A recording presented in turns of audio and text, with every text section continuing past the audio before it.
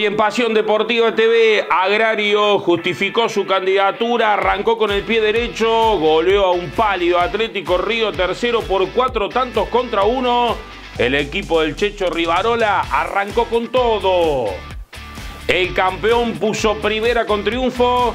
Le habían anulado dos goles a Juan Bueno, pero la tercera fue la vencida. Gritó para la conquista del equipo Mafuertense ante vecinos que generó algunas chances claras pero no le alcanzó. 9 y una victoria ajustada el Patriota en el debut de Darío Bringas como entrenador del primer equipo. Derrotó al recién ascendido Utsisa de San Agustín con un golazo del Pachi Cabral. Fitzsimon dio el golpe, ganó como visitante ante un pálido Deportivo Independiente. El Canario en Balseño se llevó la victoria y en el rojo Carnevales se fue expulsado. La inauguración del campeonato en Berrotarán, todas las imágenes y un partidazo. Ganó Belgrano, ganó el local, fue 3 a 2 para la alegría y la pirueta del Fede Comini.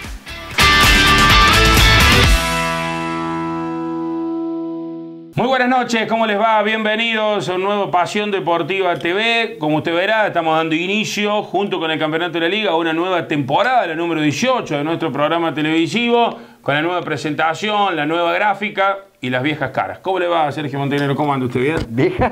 No, por los dos, digo. Ah, Hemos renovado presentación, gráfica, todo, pero las caras siguen siendo las mismas. Las, las mismas, exactamente. Con un par de arrugas más, algunos más, más blanquitos en la parte de arriba. Me pareció escuchar en alguna de las transmisiones que hicimos el fin de semana que usted iba a venir con el pelo acomodado, pero ni eso cambiamos. No, no, ni eso, ni eso. Bueno, le queremos agradecer a Francisco Carranza, ¿no? que estuvo trabajando a pleno para llegar con la nueva gráfica. Eh, alguien que, que no se te anima a ir nunca, el equipo de Pasión Deportiva TV, que cada vez que necesitamos eh, el trabajo estético para lo que será una nueva temporada, allí está con la nueva presentación y con distintas cuestiones que usted irá viendo a lo largo de este ciclo, ¿no? Y que permiten eh, renovar un poco nuestro programa, que como siempre tiene la base de acompañar a nuestro fútbol regional. Así que al maestro, muchísimas gracias. Bueno, bienvenido nuevamente. ¿sí? Sí, él, él marca la diferencia en eso, presenta Claro. todo y después se toma, digamos, el año. Ya, ya no es más hombre de cámara al hombro, ¿no? Claro, claro. Antes, antes, antes laburaba. Sí. Bueno, debutó el campeón con un triunfo. Debutó Sportivo Belgrano con una victoria y de eso nos vamos a ocupar en la primera parte del programa. Ganó 1 a 0 el equipo de Celio López, eh, que me parece otra vez va a estar en el lote de candidatos, ¿no? No le sobró muchísimo, ni le sobró mucho tampoco. Ganó con lo justo, lo necesario y un poquito más, quizás. Bueno, aprovechándose de este Vecinos Unidos que terminó siendo complicado el armado del 11, eh, de la gente del conjunto León, de Castañino. por Claro, le vamos a contar a, cuestión. la- a- a los televidentes que Luna había jugado vecino en la final de la Copa Río Tercero y que tuvo siete ausencias por jugadores que estaban esperando resultado hisopado para ver si tenían. COVID o no. Eh, bueno, algunos de ellos estuvieron eh, disponibles para el partido, pero no entrenaron. Claro, o sea, no entrenaron. llegaron para jugar justo el día viernes. Entonces, uno entiende que por ahí la puesta en escena de vecino no fue la mejor. Encima con un equipo que venía rodado, porque Verano una semana antes era equipo del provincial y estaba jugando, ¿no? Sí. Belgrano que venía llegando a las 3, 4 de la mañana de viaje del día lunes, terminando su rodaje también en, en esta participación de este torneo provincial. Y un Belgrano que bueno, que de a poquito va a ir tomándose licencias y demás. Pero bueno, enfrente tenía lo que era el comienzo inminente de este torneo de apertura, que lo hizo. De igual manera, siguiendo con eh, la misma receta, Celio López, digo, eh, con casi los mismos hombres que, vienen jugando y siendo los hombres principales en cada once, ¿no? Vamos a compartir el trabajo de Manuel Ripante con las cámaras, de Sergio Montenegro en la labor periodística. Ganó el campeón. Debutó con triunfo Belgrano en el torneo.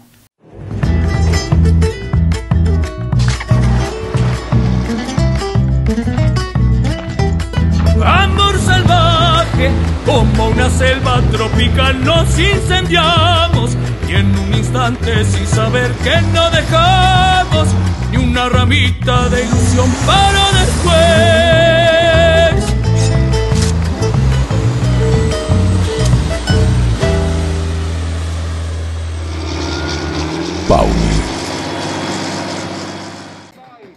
El público presente en la cancha del campeón, ¿no? Del Sportivo Belgrano. Ideal estaba la noche para comerse unos choripanes, Sergio, ¿no? Estaba espectacular la noche, exactamente. Bueno, después eh, sobre ya tardecito comenzaron algunos abrigos eh, para, bueno, resguardarse un poco de las temperaturas, ¿no? Pero bueno, Eh, allí, matecito en mano, los trapos que iluminaban todo el escenario.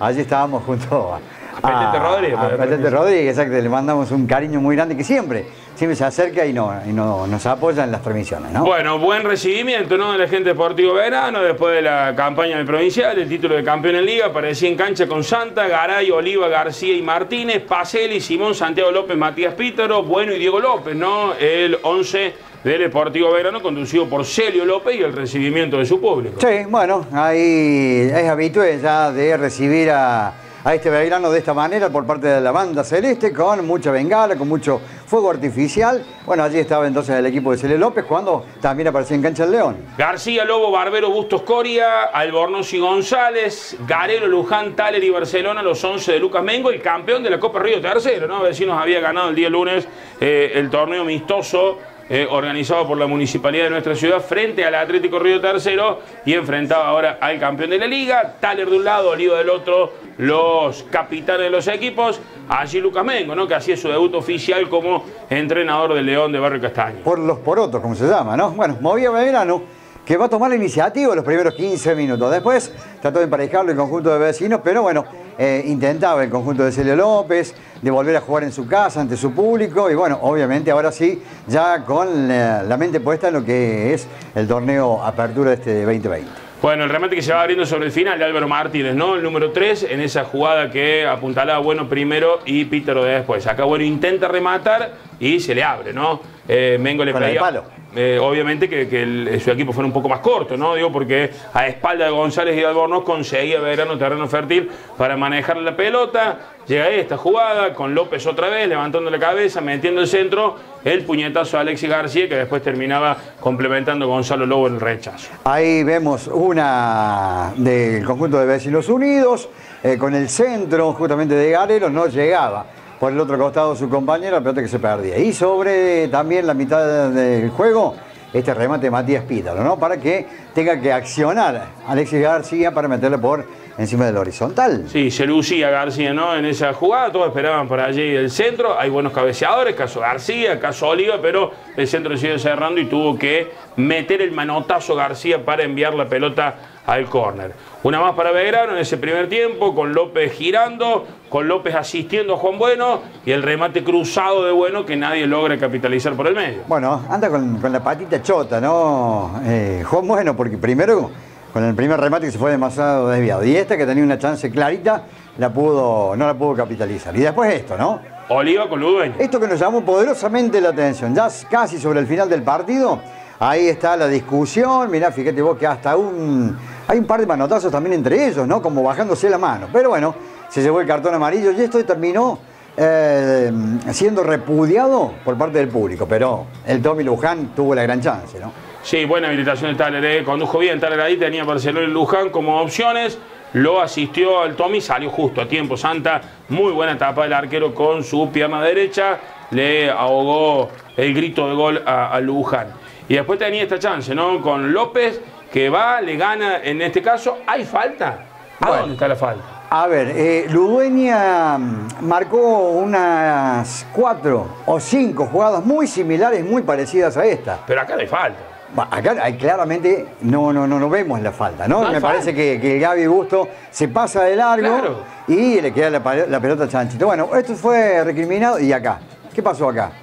Mm, Ahí me ¿Lo tocan abajo. No, a mí me parece que se deja caer. Bueno. Pero en la anterior, digo, es gol mal, mal anulado. ¿eh? Es Bueno. gol mal anulado. ahí está. Bueno, la A ver, no, jugada- no sé terminó en gol, porque digo, pero no era falta al menos, ¿no? Bueno, hubo, como le decía, tres o cuatro eh, faltas que fueron cobradas así en este sentido. Y bueno, después el repudio de la gente que lo fue a buscar a- al árbitro, ¿no? Sí, claro, le gritaban, le insultaban allí, en el momento que el árbitro iba para, para el sector de vestuario, eso pasó en el entretiempo del, del partido. Muy ofuscada la gente de Belgrano. Nos Y- metemos en el segundo tiempo. Nos metemos en el complemento, las primeras acciones las va a tener el conjunto de vecinos con esta llegada a fondo, la buena salida de, de Santa para tranquilizar allí, ¿no?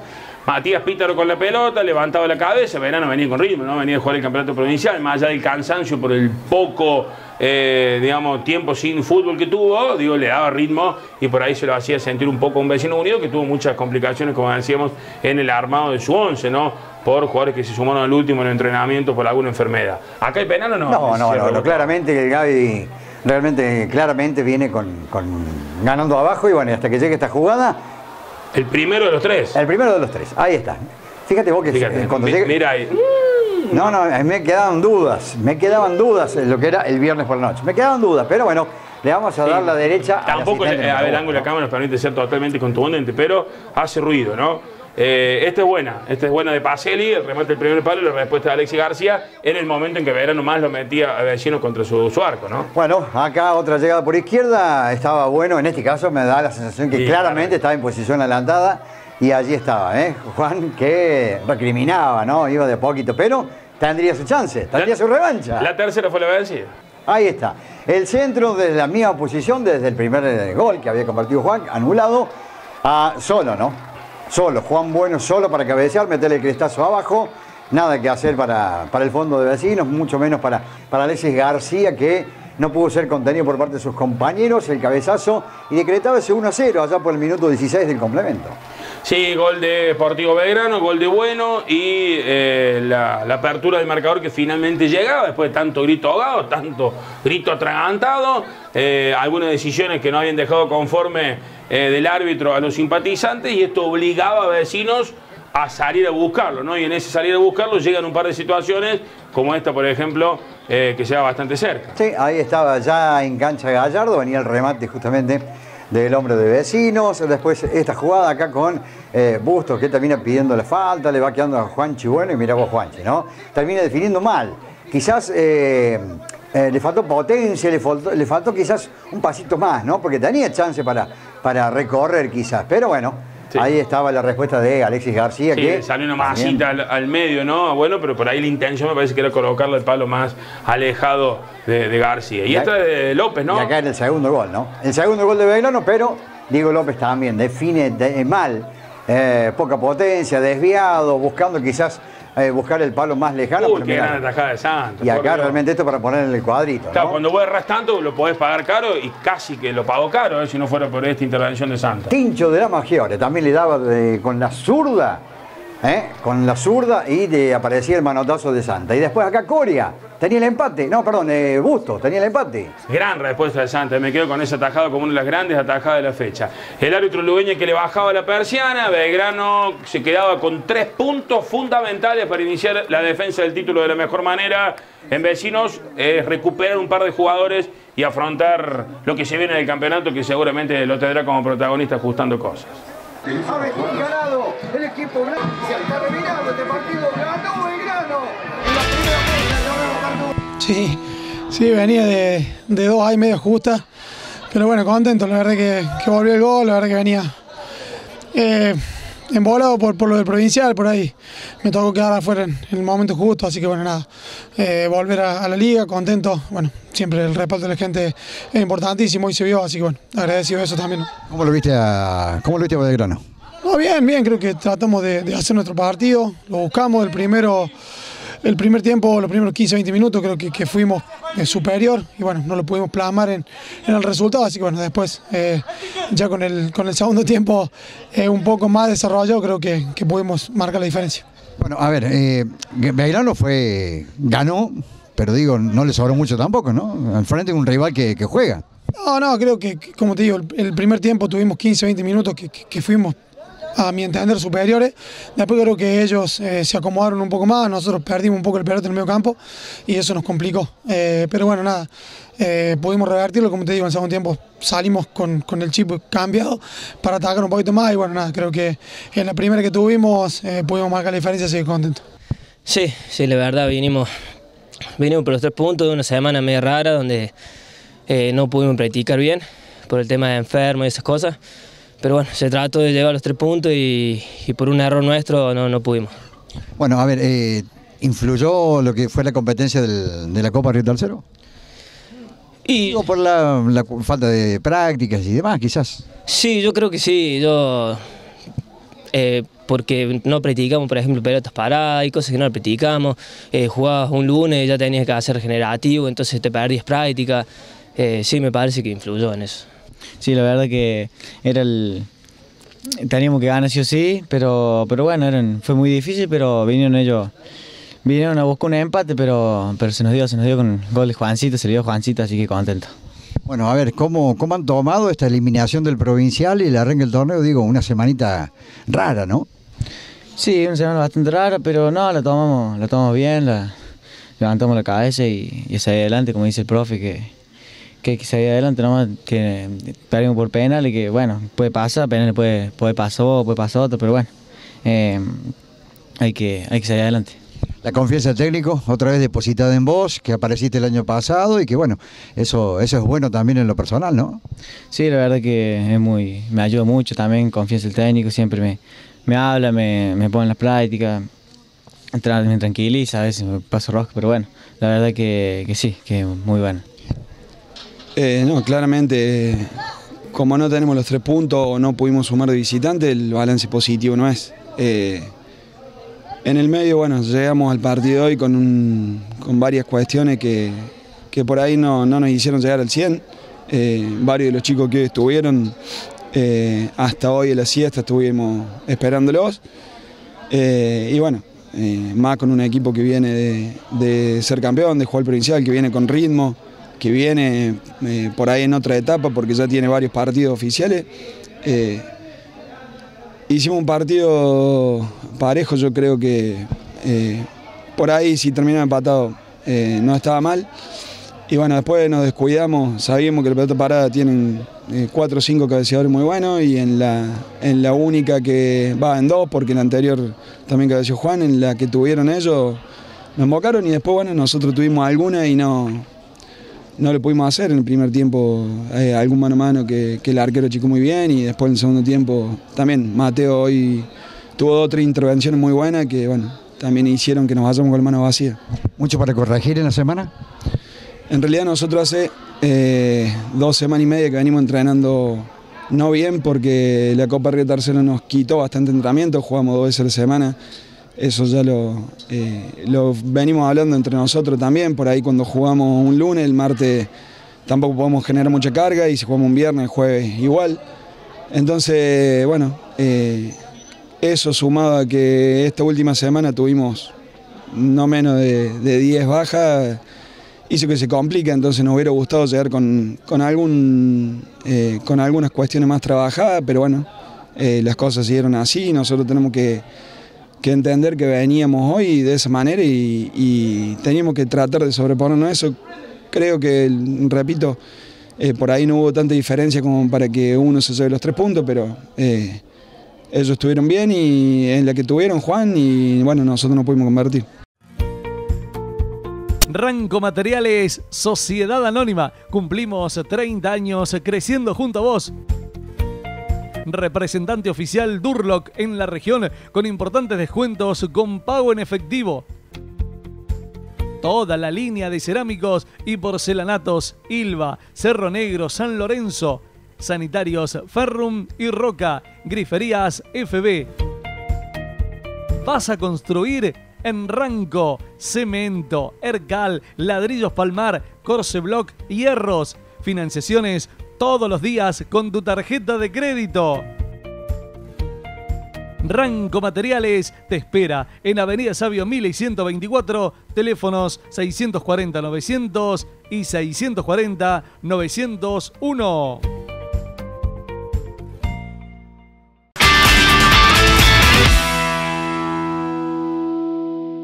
El mismo sábado Belgrano ya estaba de descanso, ¿no? Porque así lo había planteado Cele López en una entrevista para Pasión Deportiva Radio. Sábado, domingo, lunes y martes de descanso para el miércoles ya volver a reencontrarse, ir de a poco tomándose descanso con la competencia en marcha, porque claro, un equipo que terminó de jugar en clausura y automáticamente puso la cabeza en modo provincial, ¿no? En ese torneo que terminó, como decíamos, hace solo una semana. Así que bueno, el campeón está firme, está con rodaje, pero obviamente que necesita ir licenciando de a poco los jugadores para eh, evitar complicaciones futuras en cuanto al físico, porque suele ocurrir en nuestra liga que aquel que no descansa bien en el verano después lo paga caro en la etapa definitoria de la apertura, ¿no? Sí, ahí, bueno, ya le pasó a vecino, le pasó a agrario. eh, Sí, a muchos, a, mucho, casi mucho, todo le digo, ¿eh?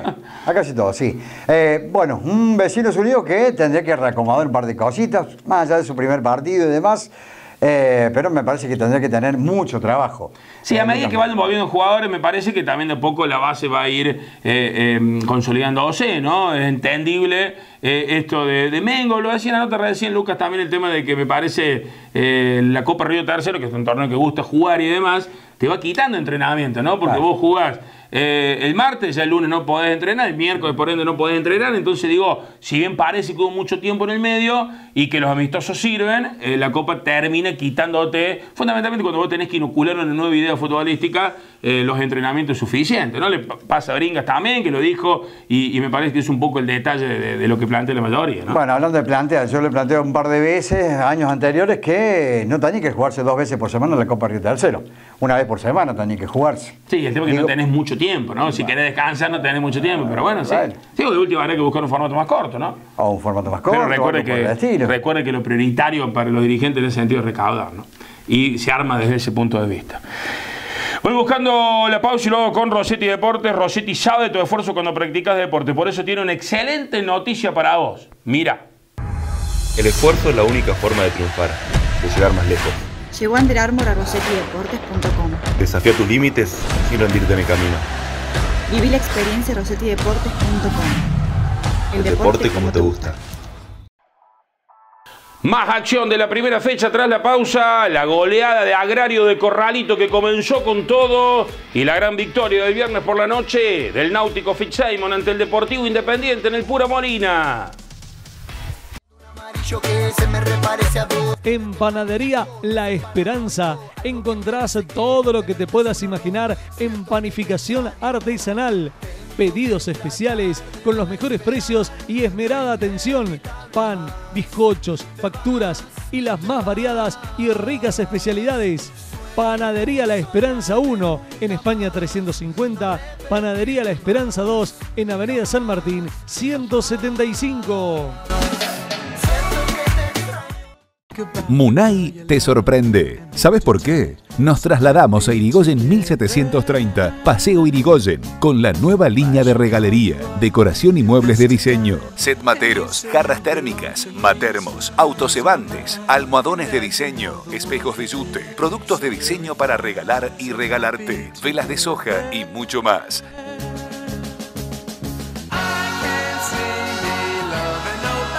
Embellecer y colorear cada espacio le brinda estilo y calidez a tu hogar. Recibimos tarjetas de crédito y débito. Búscanos en Facebook, Munay Munay. En Instagram, Munay-Munay- Teléfono 3571 559911.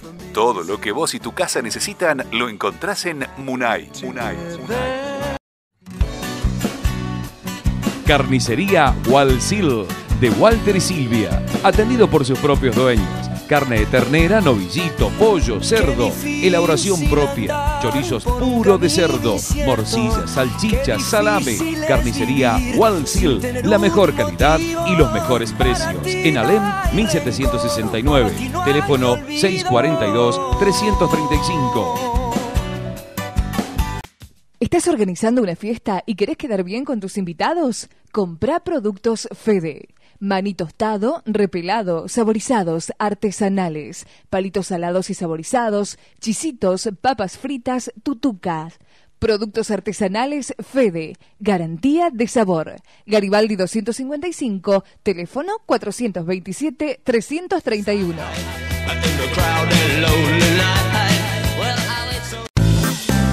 427-331. Bultorfer, ferretería industrial y bulonería mayorista, con más de 40 años de experiencia. Ahora podés recibir ofertas, comprar desde tu casa con envío y consultar stock y precios desde tu celular. Agenda el número 3571 60 60 13. Bultorfer, en Río Tercero, Avenida Pío X 208 y Avenida Sabio y San Miguel.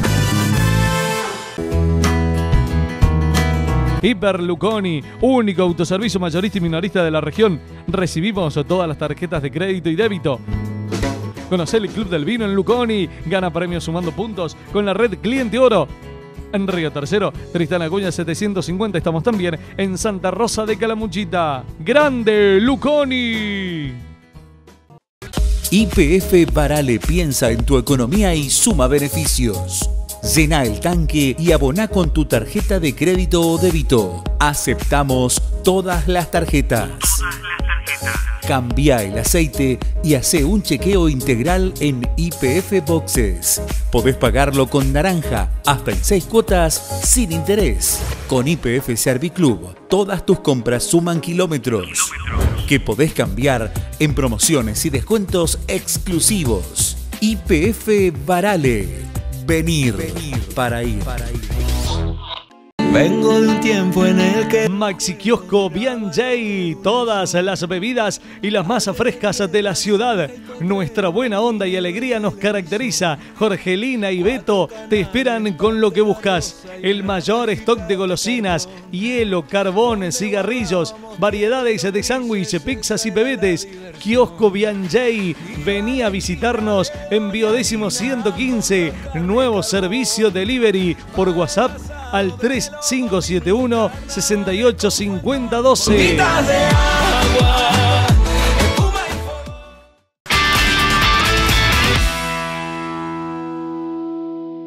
De 17 integrantes que somos de Pasión Deportiva, 14 eligieron al agrario de Corralito como uno de los dos aspirantes a la corona, ¿no? Entonces debía ratificar ese mismo viernes por la noche si la consideración de la prensa era o no equivocada y la primera puesta en escena del equipo del Checho Sergio Rivarola dejó en claro que Agrario tiene con qué pelear este torneo. Apabulló a Atlético Río Tercero por cuatro tantos contra uno, un equipo de Acoto que claramente está en un proceso de formación que le va a llevar un tiempo y que el punto de partida está mucho más atrás de lo que se creía. Sí, a ver, un resultado de 4-0 también eh, en, en una parte del partido eh, es mucho, pero también para una primera, presentación. Totalmente justificable. Digo que en ese momento, eh, si era 5-0, 6-0, nadie decía nada.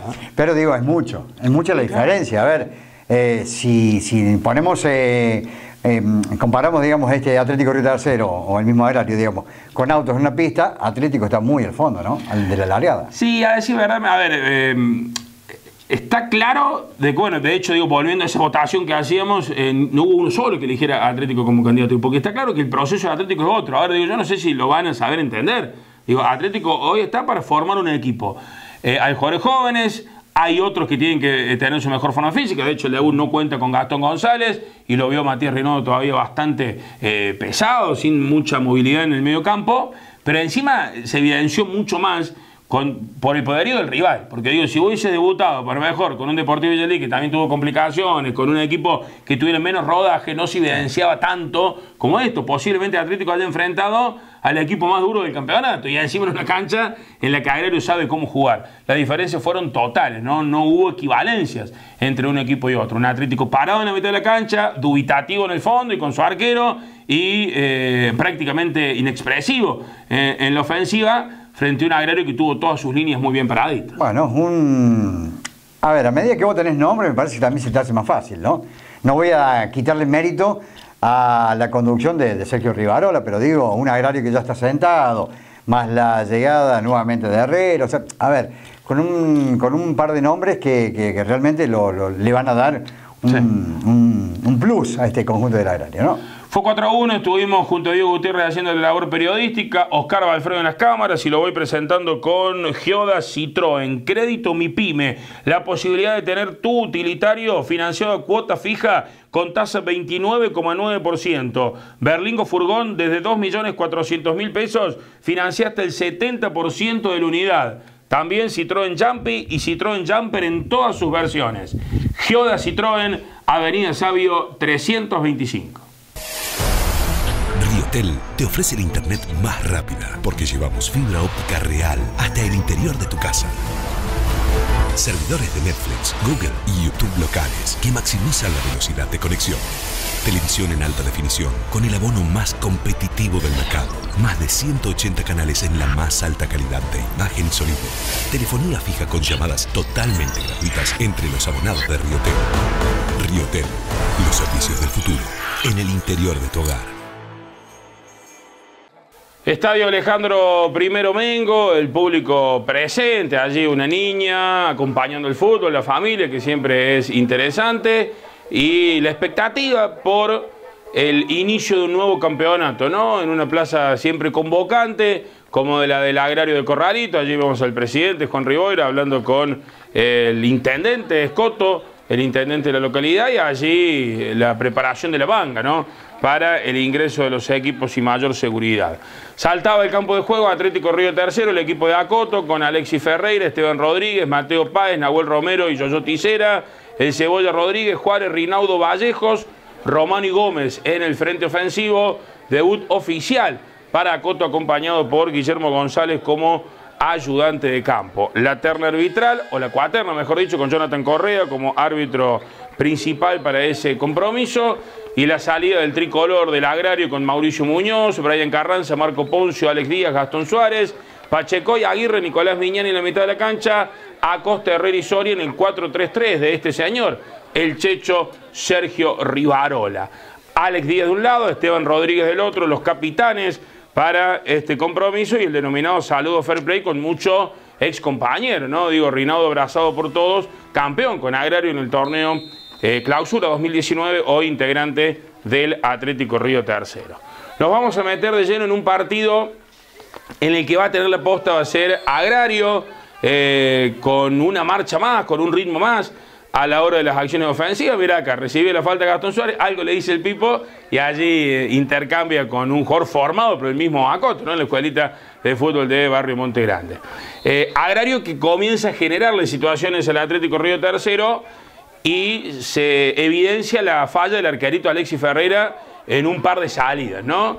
Eh, entonces, claro, inteligente, el equipo tricolor, ¿qué hace? Lo va a buscar de esa manera y en esa búsqueda eh, llega finalmente la apertura del marcador, ¿no? Le, llenaron de centro el área chica a Alexis Ferreira hasta que terminó en uno de los errores eh, pagándola caro. En el medio intentó Atlético Río Tercero buscar activar a Santiago Gómez, el delantero que vino de la capital provincial, para, incorporarse al equipo albiazul, pero, pero bueno, no pudo generar tanto. Acá un remate del autor romano que es controlado por el arquero Mauricio Muñoz. Le decimos que el gol venía de córner y así fue, ¿no? Centro, calcula mal Ferreira, eh, se pasa y aparece el mencionado Gastón Suárez por atrás de todo para conectar de cabeza y poner de esa manera Agrario 1, Atlético Río tercero 0 eh, iban 17 minutos ¿no? del primer capítulo cuando Suárez entonces anotaba el primer gol del campeonato, ¿no? porque eran cuatro los partidos del viernes y hasta esa hora todos los encuentros estaban 0-0, el gol de, Suárez y eh, el 1-0 que golpeaba, claro, estaba un Atlético Río Tercero que tenía el mediocampo muy parado, ¿no? Estaba muy estático en la zona media, Agrario se imponía desde ese sector y generaba situaciones con un cambio de ritmo asombroso, en mitad de cancha para arriba, contrastando con una defensa algo lenta. estado Nahuel Romero, que recordamos tuvo que jugar de central, porque Gastón González sufrió una lesión eh, el día jueves y por lo tanto no, no podía estar presente eh, en el compromiso. Agrel lo va a seguir buscando con esa idea, ¿no? De que cada vez que se enchufaba y se metía, generaba riesgo, le costaba por ahí un poquito más al Atlético Río Tercero eh, llevar peligro, ¿no? Probaba con remate a media distancia, este termina siendo una de las más claras, el disparo de Tisera da rebote. Mauricio Muñoz y no lo logra capitalizar eh, Gómez. Vamos a, esta acción que también es importante en el partido, mano a mano, Jonathan Acosta, no llega en el cierre Mateo Páez, la termina sacando Alexis Ferreira con la pierna, en el momento en el que por ahí más presionado el agrario de Corralito, llega esta jugada también, con el salteño Marcos Herrera, que engancha, que la mete al medio, Acosta mete el taco y no logra ni Soria ni Díaz, que acompañaba la acción, conectar por el segundo palo. Una más, en este caso con Acosta, lo va a faulear eh, Gustavo Juárez, se va a ganar la amarilla, el segundo amonestado en el partido para Atlético Río Tercero, y de esa falta va a llegar el segundo gol. Tiro libre, Marcos Herrera de zurda, golazo, que decir, se le mete bien al lado del palo de Alexis Ferreira, que en esta no puede hacer nada, y el conjunto eh, tricolor, el elenco del Checho Sergio Rivarola, que aumentaba en el marcador, ponía el 2 a 0, justificado absolutamente por lo que había sido el partido hasta ese momento y fundamentalmente eh, el grado de profundidad que lograba el dueño de casi que no podía tener el Atlético Río Tercero. Esto es lo más saliente de los primeros 45 minutos, insisto, un 2 a 0, eh, que nos hacía ver quizás que en la etapa complementaria eh, podía ser el panorama eh, distinto, un partido algo aburrido, sin embargo los dos salieron a prestarse por el espectáculo, de entrada nomás ingresó Augusto Mengo por Soria en el elenco local, buscando una variante y también dándole minutos a uno de los que volvió al club para este año. Agrario coqueteó en todo momento con la posibilidad de convertir goles, ¿no? Insisto con la diferencia de velocidad entre el ataque de Agrario y la defensa de Atlético Río Tercero que queda muy expuesto y, va a generar distintas situaciones y opciones que, bueno, algunas van a terminar en gol. En este caso, Romero, que ya estaba en estado, comete la infracción, le reclaman al árbitro del partido que no se fuera expulsado Romero y llega este gran gol de Aguirre con una rosca perfecta al palo del arquero. ¿Qué decir? Golazo de la chancha Gonzalo Aguirre, el ex Sportivo Belgrano, Independiente de Hernando, Independiente de Río Tercero, entre tantos clubes que pasó por nuestra liga regional. Gran gol con un efecto bárbaro.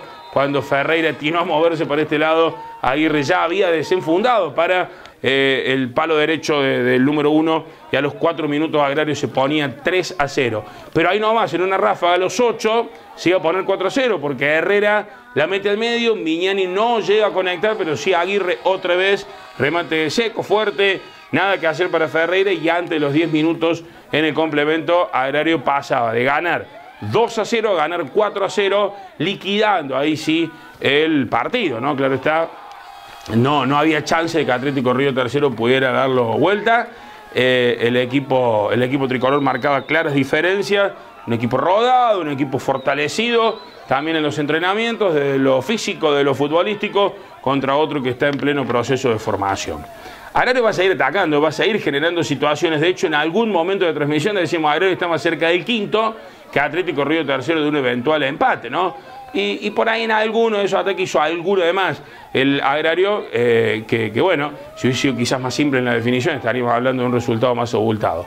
Herrera le puso con Miñani, que en este caso termina eh, rematando desviado, después en los 20 una chance clara, también con el Nico, que jugó un muy buen partido, fundamentalmente en el reparto de la pelota, en este caso conduciendo la ofensiva para Augusto Mengo, Mengo le metió al medio Herrera conectó increíblemente, lo erró, ¿no? El salteño que habitualmente no falla en este tipo de acciones terminó yéndose al lado del palo izquierdo. Apura el tiro libre eh, en esta acción para que Miñani la tenga otra vez. El centro de Miñani termina en el techito del arco. Iban 25 minutos.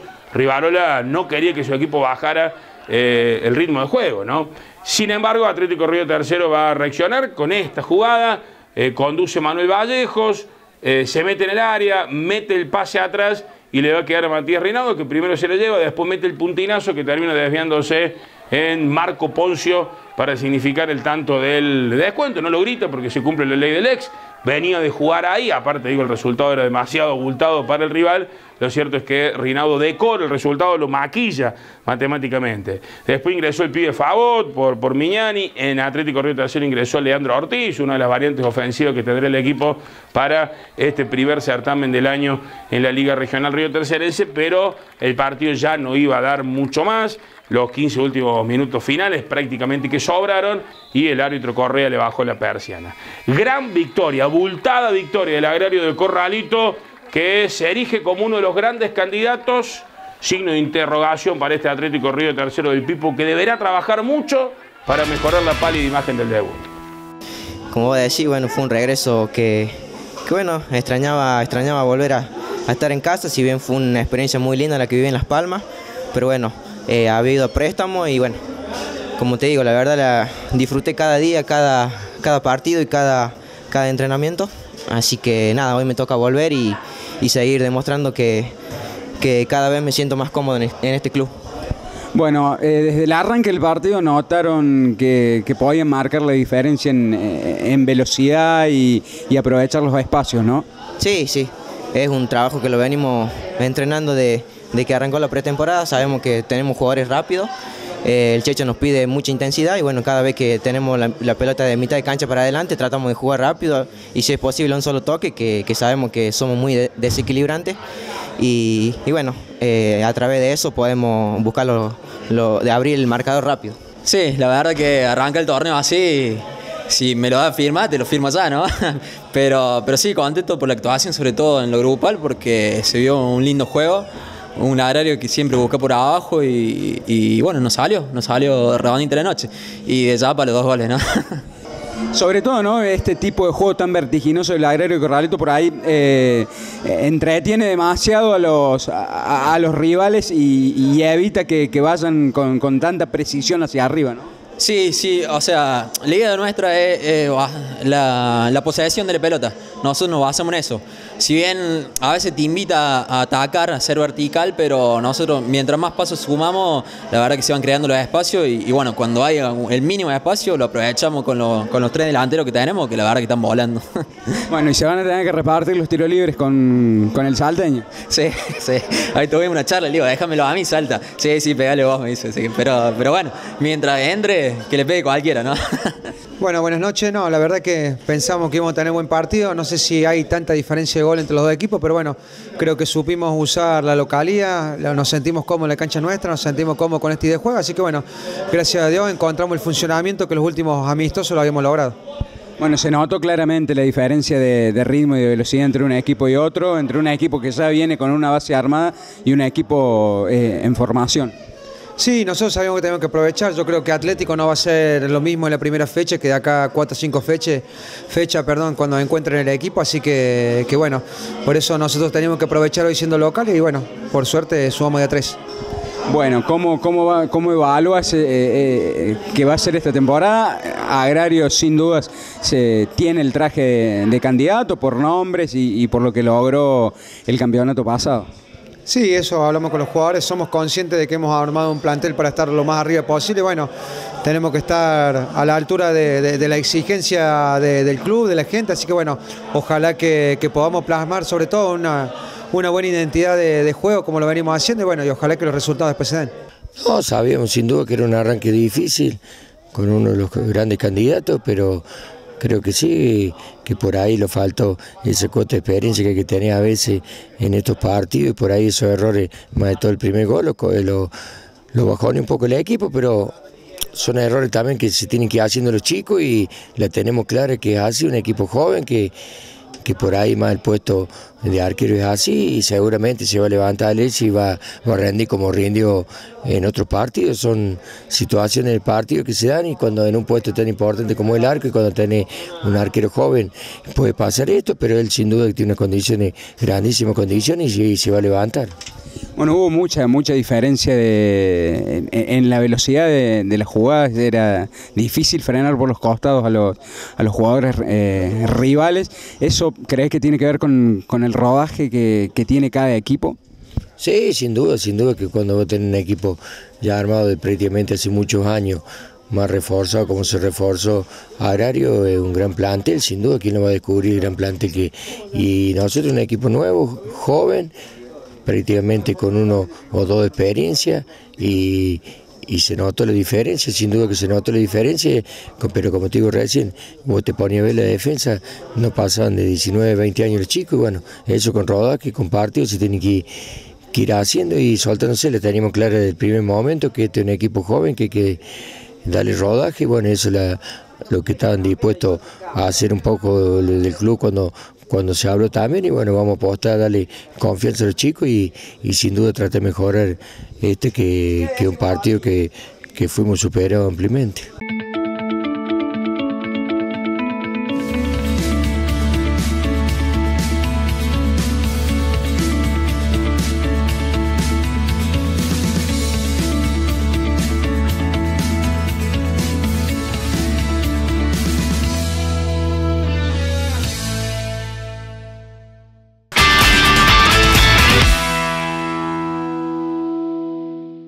Partido que estuvimos cubriendo el viernes se jugó en el Estadio Pura Molina, debutaba Deportivo Independiente, el equipo de Mauro Burgos frente al náutico Fitzsimon de Embalse, que venía del ascenso como campeón de la Divisional B el año pasado y se quedó con los tres puntos, ¿no? Ganó en Río Tercero, fue el visitante que festejó en esta fecha. Bueno, ahí estaba el equipo de Burgos, otra vez en condición de local. Bueno, con eh, el fantasma, ¿no? De las derrotas. en la última parte del año, que lo terminó casi, casi que depositando a luchar en, la- en las últimas fechas la permanencia, ¿no? Pero bueno, después metió un par de, de victorias que volvió a, a respirar. Sí, Pero viene de un digo, mal año y no levanta. Eh, a ver, un mala Copa Río tercero y un paso en falso en el arranque del torneo. Si bien usted ya lo va a ver y hay algún pasaje en el que Independiente puede mostrar algo más, creo que, que digo, Fichaimo fue más efectivo y terminó justificando la victoria, ¿no? Vamos a ver las imágenes en un ratito nada más, pero preocupante la situación de Independiente, ¿no? El trabajo fue de Franco Oviedo, nuevo integrante de Pasión Deportiva TV, desde lo periodístico, Facundo Carranza, otro que volvió con las cámaras, y el 2 a 1. La victoria del Náutico Fitzsimon, los dirigidos por Francisco Cusa, sumaron de a 3 en su estreno en esta apertura. En Forcor Río Tercero estamos listos para recibirte. Porque tenemos un servicio técnico cuidado, con protocolos sanitarios que te garantizan un espacio confiable, donde tu vehículo recibirá un mantenimiento programado, con mecánica especializada, optimizando el tiempo de trabajo y devolviéndotelo listo para que puedas seguir andando, sin parar, como a vos te gusta. Somos Ford Sociedad Anónima, Río Tercero. Concesionario oficial Ford. Estamos listos. Te esperamos. Turnos al 3571-630-312 o ingresá a nuestra web forcor.com.ar.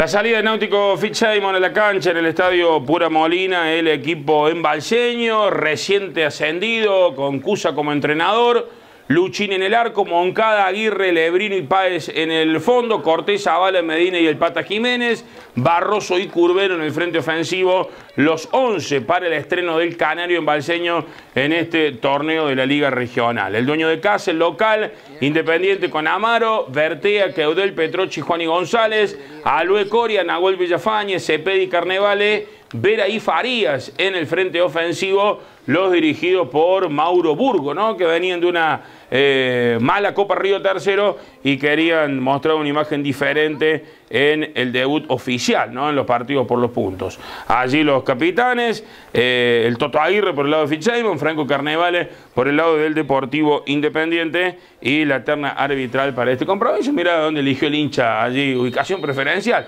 para ver las acciones de este partido. Eh, vamos a ver eh, de entrada para el Náutico Fitzsimon esta jugada, el centro de Zavala, el cabezazo de Barroso, lo termina bien eh, ubicado allí al arquero Amaro, lo encuentra bien ubicado, se queda con esa pelota. Burgo le pedía atención, obviamente, a sus dirigidos en ese momento del juego. Vamos a ver esta acción ahora a los 11 con el Toki Albecoria, que eh, iba ingresando hacia el área, aproximándose a la media luna y el remate que terminaba yéndose desviado. El córner no lo podía capitalizar nadie, digo, alguna reacción del Deportivo Independiente, Cuse pidiendo al equipo que estuviera tranquilo, después nos va a decir en la nota que eh, veía que, que por ahí la ansiedad le había jugado eh, un poco falso en esos primeros minutos a sus dirigidos, ¿no? Claramente estamos hablando de volver a la división A con todo lo que eso significaba. Eh, comienza a hablar mucho Carnevale con el árbitro del partido, ¿no? Y el árbitro, ¿qué le dice? Mente en frío, le dice que piense, ¿no? Se lleva el dedo a la 100 como, como planteándole que Carnevale es un jugador de experiencia y que no perdiera la cabeza. El árbitro es Federico Valle, ¿no?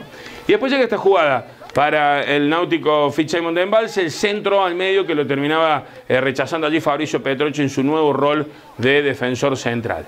Va a llegar la apertura del marcador en esta acción, Cortés que la mete al medio y Lucas Curvelo que conecta de cabeza, de palomita.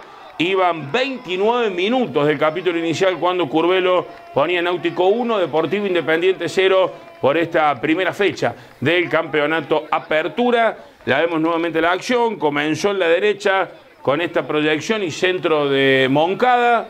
Eh, la baja bien por el segundo palo el jugador Cortés, levanta la cabeza, mete el centro preciso, Curvelo lee la intención, por eso se tira de palomita, se anticipa a Caudel y pone de esa manera eh, el 1-0. ¿no? El primer gol, antes de la media hora para el náutico Fitzsimon de Embalse, un gol que le va a permitir a Fichemon crecer, obviamente, agrandarse en el partido y que va a generar algunos desacoples en Deportivo Independiente que perdió la cabeza. La falta de Caudel, en este caso, el tiro libre, intentaba allí en el primer palo Zavala y terminaba rechazando en dos tiempos a Amaro.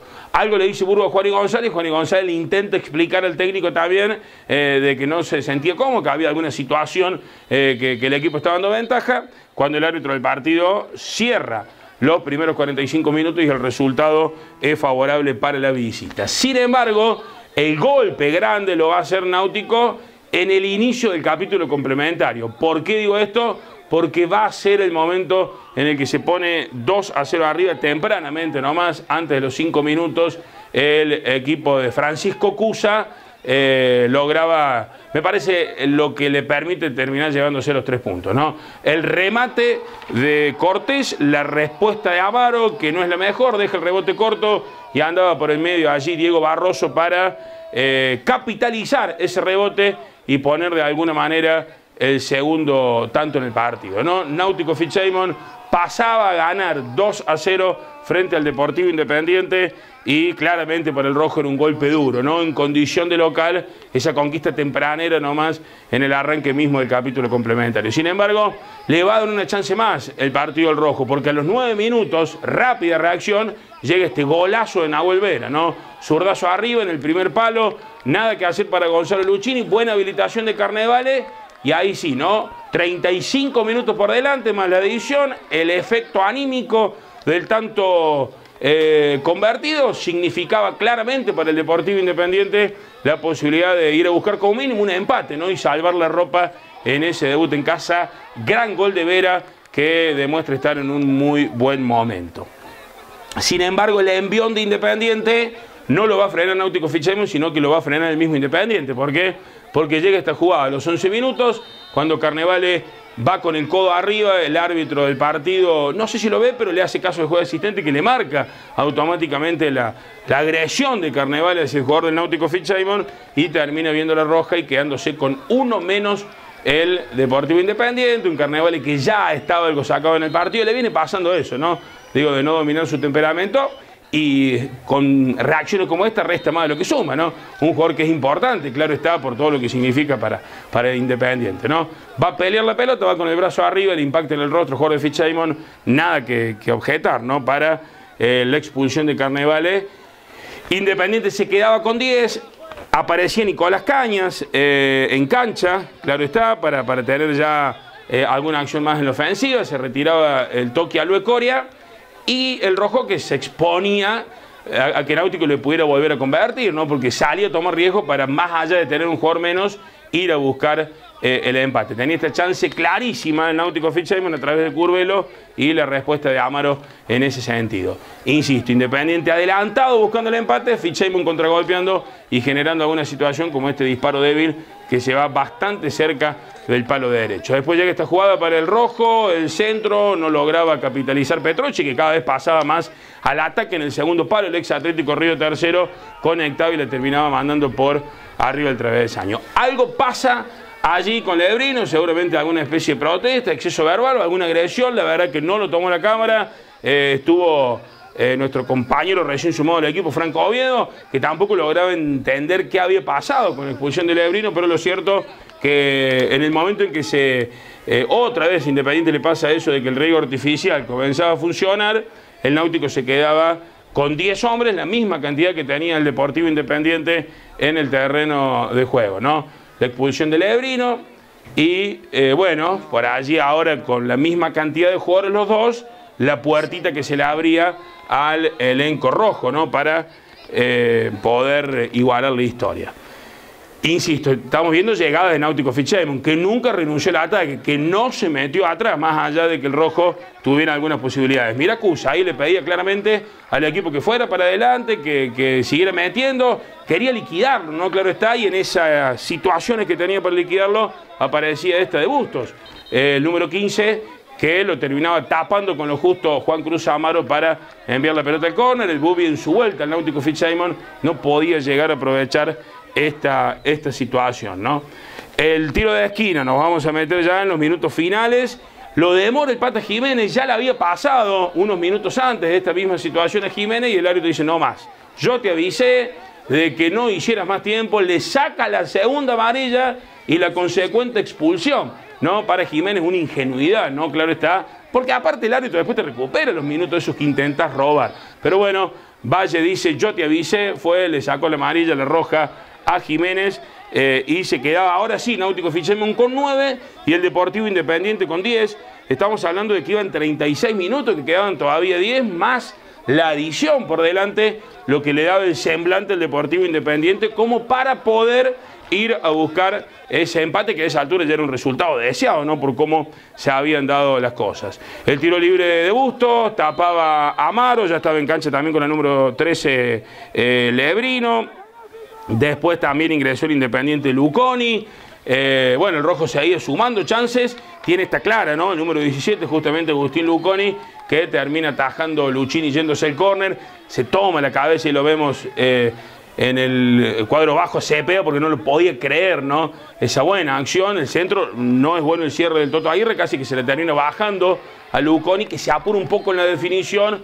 Y la respuesta con los pies del Tonchi Gonzalo Luchini para sacar la pelota al córner. Eso fue a los 43 minutos. 30 segundos después de ese mismo córner, el centro, el cabezazo y le termina sacando sobre la línea, ¿no? Se viste de héroe Bustos en esa acción clave. El rojo no lo podía creer, coqueteaba con el empate. Vemos nuevamente la jugada eh, para los dirigidos por Mauro Burgo. El cabezazo del número 16, estamos hablando de Cañas y Bustos que la sacaba sobre la línea. Después una más, ¿no? El cabezazo la peina en el primer palo y no logra Petrochi por el segundo corregir. Todo Independiente lanzado al ataque, todo Fitzsimon ahora en inferioridad numérica, esperando que el partido terminara para quedarse con los tres puntos. Y el partido le da una chance más al rojo que no puede aprovechar el ex 9 de julio Juari González. Valle le bajó la persiana, gran victoria del Náutico Fitzsimon ante un Deportivo Independiente que tiene que levantar sí o sí en las próximas fechas. Eh, buenas noches, sí, un partido muy trabado. Eh, en el primer tiempo tuvimos un montón de clara y bueno, se nos escapó el último. Eh, siento que pudimos empatarlo, tuvimos muchas oportunidades, pero bueno, no se nos dio. desde arriba se vio que no sabían qué hacer con la pelota en el primer tiempo. ¿Puede ser así? Y puede ser que nos, pusimos un poco nerviosos, nos apuramos en la, para salir jugando. pero bueno, todo se mejora y vamos a ver adelante. ¿Cómo ve el equipo de cara al campeonato? No, lo veo bien, lo veo bien, eh, estamos muy convencidos. y bueno, todos juntos en un grupo y bueno, vamos a sacarlo adelante todo esto.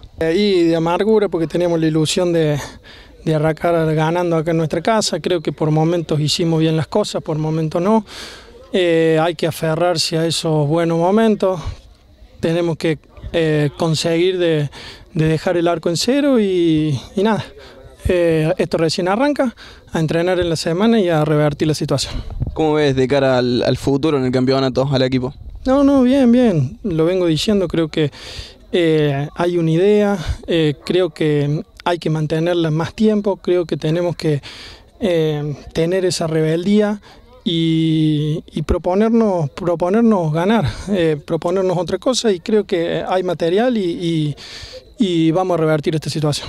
¿Se pudo adaptar bien el grupo llegando este año? Sí, sí, la verdad que conozco la mayoría de los chicos, me recibieron de maravilla, todo cuerpo técnico, dirigente, eh, los mismos jugadores, así que estoy muy contento. Un sabor amargo arrancar así, no, no, no queríamos arrancar así, pero bueno, fueron dos, ellos llegaron dos o tres veces y con dos errores del árbitro, en el primer gol la toco con la mano y en el segundo falta ahí el medio, y bueno, se nos complicó, al último fuimos con todo, pero no, no pudimos. En el primer tiempo se notaba que Independiente no sabía qué hacer con la pelota en los pies, jugaban mucho los pelotazos. Eh, ¿Puede ser así? No, a mí me parece que los primeros 30 fuimos donde propusimos, donde jugamos nosotros. Y bueno, eh, bueno fue el, gol ahí nos, costó y después los últimos 15, ahí, ahí fue donde a lo mejor fue los pelotazos, pero no, no, no sentí eso. Fue un primer tiempo intenso, lindo de ver, donde Independiente los primeros 15 minutos lo manejo, después nosotros nos acomodamos y, y fue un tiempo vistoso, con mucho ritmo, mucho juego por afuera y ya el segundo tiempo fue, fue inmirable, muy desvirtuado con las expulsiones. Eh, a mi entender, la segunda expulsión nuestra se equivocan porque ellos lo asumen y eh, eso desvirtuó todo el partido, pero eh, el primer tiempo sí me gustó. Eh, ¿La jugada de los centros por derecha es algo practicado o algo que hizo en el partido? No, no, eso lo elaboramos, nosotros lo elaboramos. Intentamos eh, jugar por adentro y que nuestro carrilero después termine jugada por afuera. Es algo que elaboramos, lo hicimos el año pasado. Sí, el ritmo de la B a la A es incomparable, se juega cuatro marchas más arriba. Así que bueno, eso nos va a costar acomodarnos, pero cuando nos acomodamos creo que vamos a ser competitivos. Casa Elde, Blanco y Colchonería es el lugar perfecto donde encontrás todo lo mejor para tu descanso y para vestir el dormitorio y el hogar. Casa Elde tiene mayor variedad, excelente asesoramiento y máxima calidad en colchones, sommiers, almohadas, acolchados, sábanas, cubrecamas, cortinas, decoración y valijas. Casa Elde, líder en blanco y colchonería, 60 años creciendo junto a nuestra ciudad, Libertad 345. Tras la pausa nos vamos al domingo. Ganó 9 de julio en el debut de Darío Bringas y el campeonato se inauguró en Berrotarán con triunfo local en un vibrante 3 a 2. Vengo de tiempo en el que Maxi Kiosco todas las bebidas y las más frescas de la ciudad. Nuestra buena onda y alegría nos caracteriza. Jorgelina y Beto te esperan con lo que buscas. El mayor stock de golosinas, hielo, carbón, cigarrillos, variedades de sándwich, pizzas y pebetes. Kiosco Bianjay, vení a visitarnos en Biodécimo 115. Nuevo servicio delivery por WhatsApp al 3571 685012.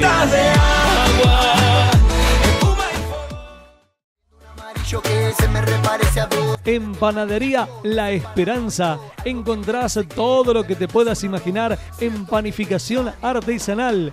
Pedidos especiales con los mejores precios y esmerada atención. Pan, bizcochos, facturas y las más variadas y ricas especialidades. Panadería La Esperanza 1 en España 350, Panadería La Esperanza 2 en Avenida San Martín 175.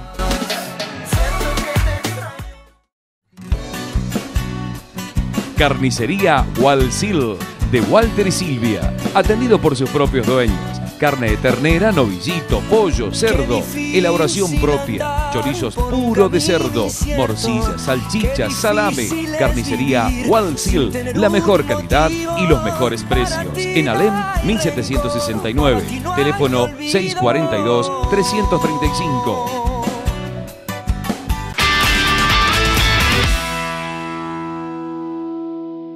Debut con triunfo y poco más para Darío Bringas como entrenador deportivo 9 de julio. El ciclo del Manzana comenzó ayer domingo en el Estadio Niceto en un partido que comenzó bajo la lluvia torrencial. Terminó con una victoria por dos tantos contra uno, dejando en claro que tiene mucho por trabajar de ahora en más eh, con su equipo, ¿no? Bien, quiero llevarlo al comienzo de la frase. Sí. Bringas y un, y un poco más.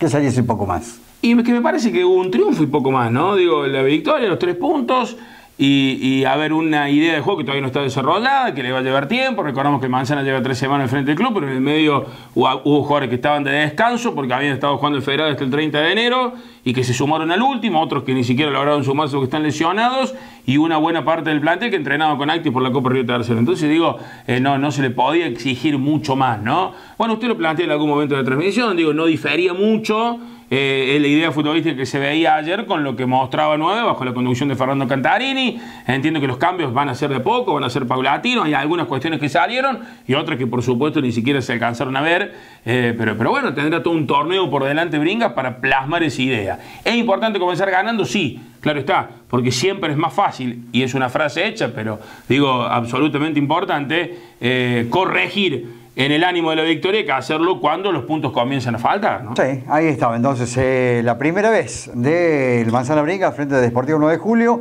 y enfrente, la vereda de frente estaba Cuevas, ¿no? Que venía trabajando, tuvo un buen año.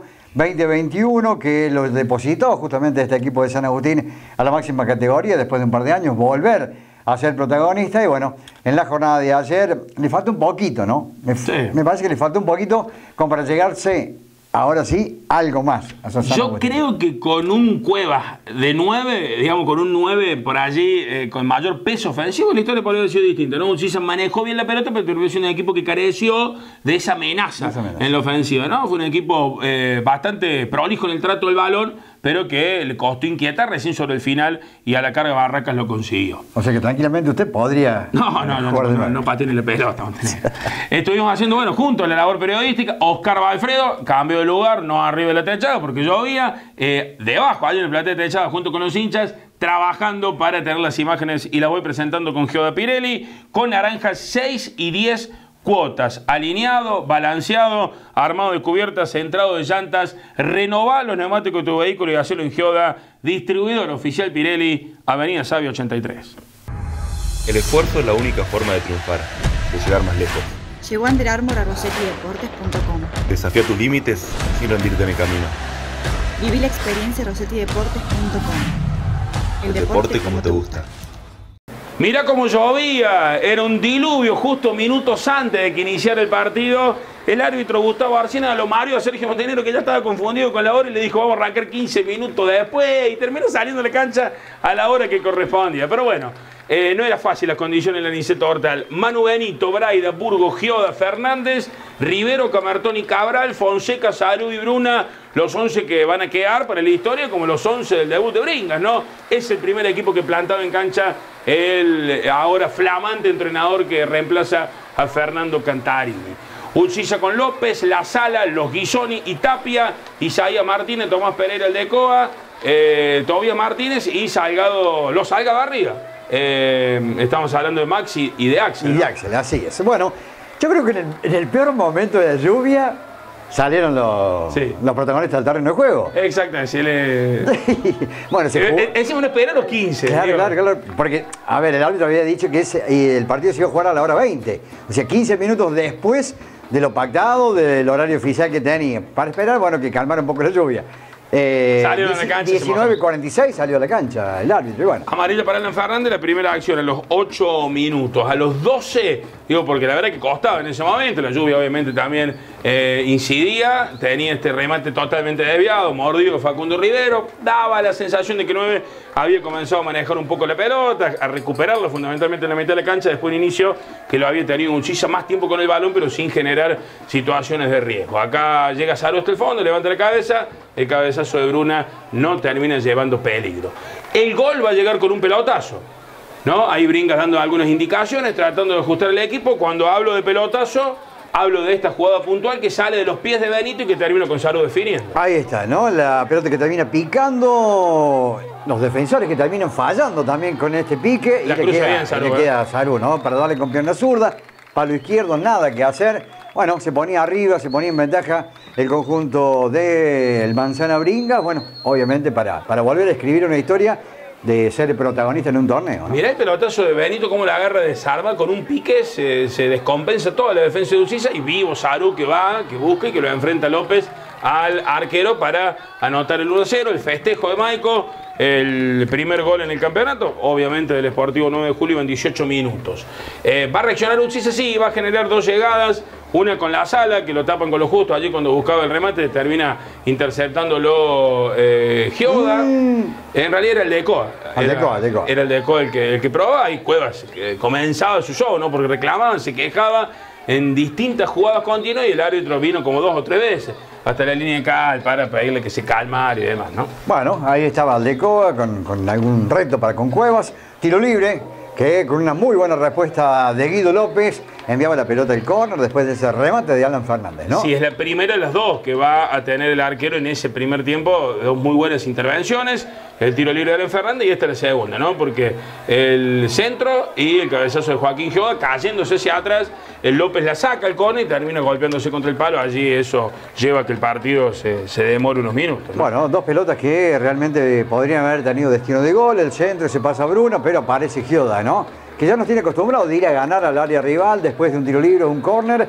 Otra vez ganaba justamente el zaguero de 9, metía el crestazo y la muy buena respuesta de López que iba a tener otra después también. Sí, en ese parate aprovechaba dar indicaciones, ¿no? El Manzana Brinque. Sí, esta de Gioda, cabeceando de pica al piso, ganando otra vez en el área enfrente, pero la pelota terminaba yéndose por arriba el travesaño. La respuesta van a ser dos llegadas más de Luchisa de San Agustín, este con un Salgado que lanzado en velocidad generó realmente complicaciones. Hablamos del número 11 de Axel, en este caso se frenó, metió el centro y su primo Maximiliano que entraba por atrás de todo, intentó rematar de volea, pero la pelota terminó yéndose desviada. Bueno, ahí estaba entonces eh, nuevamente Salgado por el costado izquierdo haciendo estrago, ¿no? Pisando por acá, pisando por allá, una, una jugada similar y calcada, pero la toca hacia atrás, viene Tapia con el centro y mira cómo se la, se la lleva puesta, ¿no? Allí entre Salgado que no llegaba, el mismo La Sala que, perdón, Aldecoa. eh, Aldecoa que también no podía definir bien, ¿no? Sí, va a ser una de las últimas del primer tiempo. Este que vemos, ¿no? La trepada de Alan Fernández, buscándolo a Saru. Saru remataba y a débil a las manos del arquero. En definitiva, la sensación de que 9 de julio eh, ganaba por aquel pelotazo, había aprovechado lo que tuvo, pero no le marcaba grandes diferencias a una Uchisa de San Agustín que entendía su técnico, tenía la principal falencia en falta de peso ofensivo y para ello iba a la cancha una de las incorporaciones para este torneo, el ex Unión de Pampalate y Atlético más fuerte, Santiago de Bernardi, en lugar de Isaías Martínez. Bien, fotito en el entretiempo. Sí, el profe Marín con el Flaque Iván Castro, que está recuperándose una lesión. Recordamos que juntos fueron pies importantes de vecinos en el año 2016. Eh, hoy cada uno en su club, ¿no? Bueno, ahí estaba. Comenzaban las acciones del segundo tiempo, la sala un largo pelotazo, Aldecoa se pasaba, el remate también no era bueno, la respuesta de 9 de julio. El anuncio de Cabral, de lo que iba a ser eh, minutos después del gol, ¿no? Bombazo de zurdo del Pachi, la pelota termina dando en el travesaño, le queda el rebote a Saru, López lo tapa. Digo el indicio porque el gol va a ser eh, una jugada bastante parecida. Parecida, ¿no? Ahí la vemos nuevamente. ¿Qué, qué capacidad que tiene para sacar remate fuerte, Cabral, ¿no?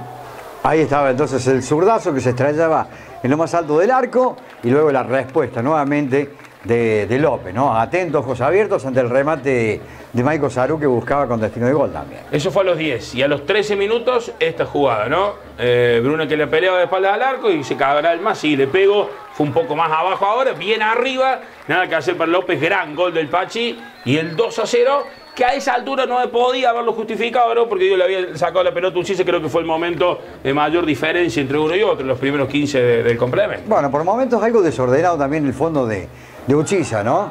Digo, porque no, tampoco podían eh, encontrar con el balón, digo, los zagueros terminar reventando ese balón afuera, o sea, el saque si quiere ganar, el famoso, ¿no? Pero me parece que también tuvo un poco impreciso, perdió un poco las marcas, por eso la llegada de, de Cabral rápido también a ese sector para poder definir. La pelea Burgos, la recupera Fede en la mitad de la cancha y ¿qué hace? Masi le pego, remata y termina controlando Guido López en dos tiempos sin grandes inconvenientes cuando iban eh, 15 minutos. La banda de la Garita, que primero estaba abajo ahí en la techada, que había a meter ruido allí porque llovía, volvía a su lugar natural, el lugar donde estamos acostumbrados a verlos en la cancha de 9, detrás de uno de los arcos. De Bernardi probaba la respuesta de Benito para decir aquí estoy, aquí estoy presente, bueno, y después una serie de variantes. ¿no? Iván Moyano y Bertón ingresaban por Uchisa, Colazo, el Mapache Ponce ingresaban por el lado del Sportivo 9 de Julio. Y el momento donde me parece que 9 no va a saber cerrar el partido, va a perder un poco su estado de forma en la mitad de la cancha y le va a permitir a Uchisa una reacción. Es cierto, coqueteó 9 con el tercer gol y si lo convertía quizás estamos hablando de otra cosa, pero no lo logró y Uchisa sobre el final después terminó haciendo ver al triunfo de 9, eh, al menos con un poco de riesgo. Ahí estaba, bueno, por momentos, por momentos, a partir de este momento digo, eh, me daba la sensación de que podría llegar Uchisa al descuento antes que eh, un tercer gol de 9 de julio, ¿no? Sí, en ese momento sí. El centro de, Mar- Martínez que se va cerrando, mete el manotazo Benito y después llega esta jugada. Burgos ya estaba de cuatro, tuvo muchas complicaciones Burgos para frenarlo a Salgado. Salgado remató, Benito tapó y le quedó justo de Bernardi para capturar el rebote. Iban 41 minutos, ¿no? La pregunta es, y es contrafáctico saberlo, pero eh, ¿qué hubiese pasado si se descontaba antes, no? Digo, ya fue muy cerca del cierre del partido, sin embargo la hizo muy bien Salgado, pasó entre Brady Burgos y de Bernardi en su debut convirtió. Por momentos, Salgado hizo lo que quiso por izquierda, ¿no? Eh, creo que lastimó demasiado el sector izquierdo de 9. Fundamentalmente cuando fue Burgos jugaba por ese lado. Para mí tuvo un muy buen partido Fede Burgos de central. Cuando salió a la derecha eh, tuvo algunas complicaciones eh, eh, evidentes, no marcadas. Bueno. Y después sobre el final, claro, sí tuvo mucho la pelota, pero no va a generar eh, disparo de riesgo. Ahí este nomás, este tiro libre de Axel Salgado, que termina en la mano de Benito. Por eso digo que tampoco se puede decir que Uchilla debió haberlo empatado, pero al menos eh, generó esa situación de supuesto riesgo, ¿no? Le bajó la persiana el árbitro, fue victoria patriota, fue triunfo ajustado 2 a 1 en el debut de Bringas, consiguió el triunfo. sí, seguro. Mm, Creo que hicimos un, un gran partido. Más allá de los primeros 30 nos costó entrar en juego. Obviamente el rival, la cancha, eh, rival de jerarquía. Eh, pero bueno, estuvimos a la altura. Se nos escapa por detalles nuestros. Obviamente ellos capitalizaron bien porque bueno, son un equipo de jerarquía, tienen jugadores que juegan bien y bueno, nosotros hicimos nuestro partido. Creo que salió, salió bastante lindo para la gente. Pero, pero bueno, nos vamos con esa sensación de que podemos haber hecho un poco más. Bueno, te escuchábamos en el primer tiempo de que por momentos decía que estaban muy parados, ¿puede ser? Sí, sí, lo respetamos mucho, respetamos mucho el rival. Es, obvi- es obvio, es un equipo recién ascendido, que venimos con nuestras armas, eh, pero bueno, eh, entendía yo a mis jugadores que al principio le iba a costar un poco, pero bueno, después cuando nos sacamos ese respeto hacia el 9, lo lastimamos, le generan un par de situaciones de gol y obviamente ellos no te perdonan, ¿no? Sí, sí, la verdad que el conocimiento general en realidad lo voy a tener bien a partir de esta primera fecha. De, del análisis, de los, de los datos un poquito que nos arrojan. Pero bueno, la, la realidad es que tácticamente trabajamos una semana el equipo nada más por el tema de la Copa. Yo hace tres que estoy. Eh, hicimos mantenimiento, trabajos generales y cuando tuve más o menos disponibilidad del plantel fue una semana. Y dentro de todo eso creo que el equipo, bueno, la, la- la idea la tiene y bueno, obviamente que hay algunos desacoples eh, que los vamos a ir corrigiendo con el tiempo, ¿no es cierto? Pero bueno, la voluntad del equipo está, las ganas la tienen y bueno, eso nos da, nos da ganas de seguir laburando y nos deja contentos porque bueno, eh, sabemos que, que todo lo que tenemos que corregir va a ser a través de, de una victoria que siempre mucho más fácil, ¿no? Bueno, eh, ¿esperabas esta primera fecha eh, pensando en lo que era el campeonato, el comienzo del campeonato, pensando en lo que tenés, realmente que lo que tenés que trabajar, o pensando en un rival que viene del ascenso? No, no, yo la verdad que soy muy respetuoso de los rivales, de todos. Sé que este equipo juega bien, sé porque ya tenía, ya tenía datos, tenía datos de, de- de cada uno de sus jugadores, del sistema táctico. Y bueno, sabía que era, que era un equipo que, que tiene un extremo desequilibrante, como el 11, que tiene un triángulo central que, que mueve bien la pelota, que intenta salir, por eso bueno, por ahí los complicamos, eh, los presionamos arriba, tuvimos chances.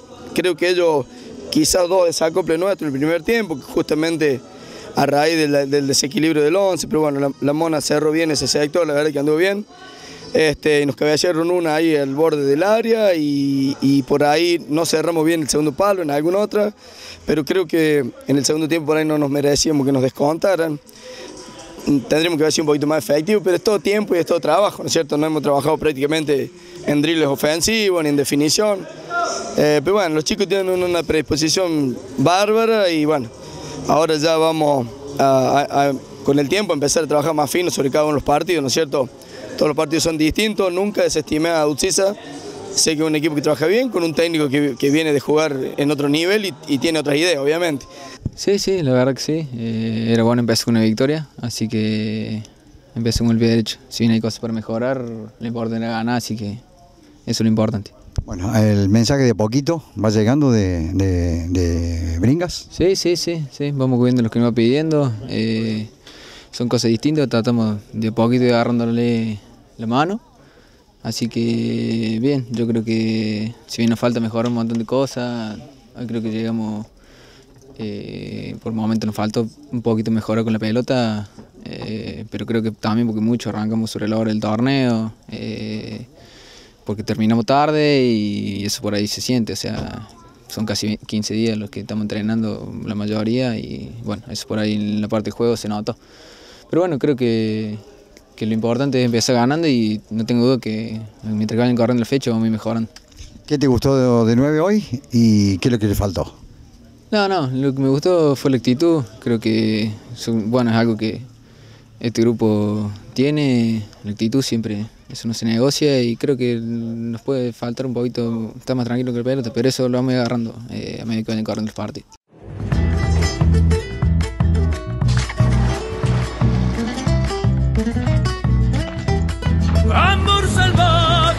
Como una selva tropical nos incendiamos y en un instante sin saber que no dejamos ni una ramita de ilusión para después.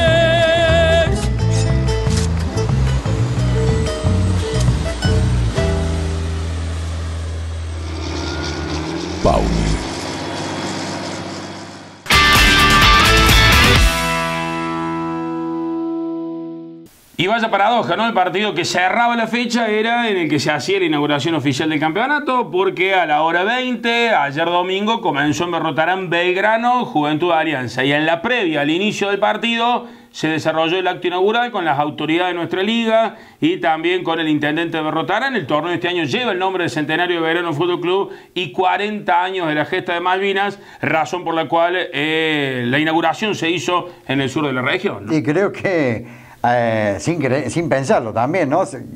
El, el, partido de la fecha. Sí, sin duda. No, eh, no sé si técnicamente el mejor jugado, por el sentido de que hubo muchos errores, pero digo, para los ojos de los espectadores va a ver usted un electrizante 3 a 2 donde pasó absolutamente de todo. ¿no? De todo, ¿no? De todo, entonces, bueno, así que la bienvenida fue en el sur de, de nuestra liga. Bueno, estuvo trabajando Gabriel Palacio, nuevo integrante del equipo de Pasión Deportiva TV, y un viejo conocido, Pablo Cabral con las cámaras. ¿Qué manera hay gente nueva? Sí, ¿vio? Tenemos gente nueva y gente vieja. ¿eh? Así, nuevo? así se arma un equipo. No hay nadie detrás de cámaras, salvo el amigo Carlos Alfredo. Eh, vamos con el 3 a 2. Primero la inauguración, la palabra del intendente Berrotarán, del presidente de la liga, todo lo que se vivió allí, dejando inaugurado el campeonato de liga y después no se lo pierda. ¿eh? Partidazo en el sur con 5 goles. En Forcor Río Tercero estamos listos para recibirte. Porque tenemos un servicio técnico cuidado, con protocolos sanitarios que te garantizan un espacio confiable, donde tu vehículo recibirá un mantenimiento programado, con mecánica especializada, optimizando el tiempo de trabajo y devolviéndotelo listo para que puedas seguir andando, sin parar, como a vos te gusta. Somos Ford Sociedad Anónima, Río Tercero. Concesionario oficial Ford. Estamos listos. Te esperamos. Turnos al 3571-630-312 o ingresá a nuestra web forcor.com.ar. Bueno, la verdad que una nueva ilusión, una alegría de poder haber dado comienzo a los torneos. Hoy es el comienzo oficial del torneo en esta cancha de Belgrano Fútbol Club.